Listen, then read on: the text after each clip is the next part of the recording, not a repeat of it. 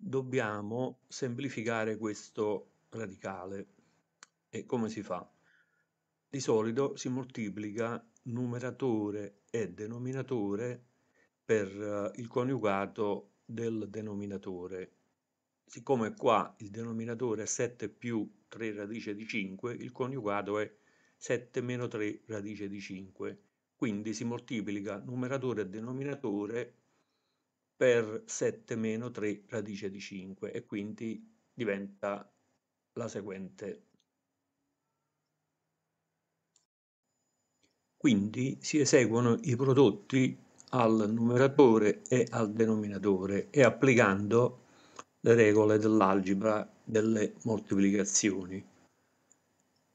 Al numeratore è quella classica, al denominatore si può applicare quella della differenza di, di quadrati, no?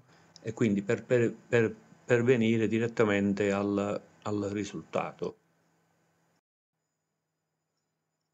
Applicando le normali regole di somme e sottrazioni di monomi simili si semplificano sia il numeratore che il denominatore e poi dividendo numeratore e denominatore per 2 abbiamo il seguente eh, risultato finale.